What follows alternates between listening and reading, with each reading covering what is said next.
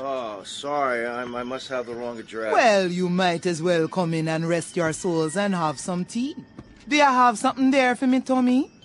Yeah. This place feels familiar to me. Uh, it's a, smell from childhood, a deja vu. Now, Tommy, I'm going to whisper a little errand for you. Hear me well, aye? You look like someone I, I... Them have fast boats they use to cross the seas with drugs. It is their livelihood. Me nephew been making little flying bombs to take them out. Blow the boats to coffin wood.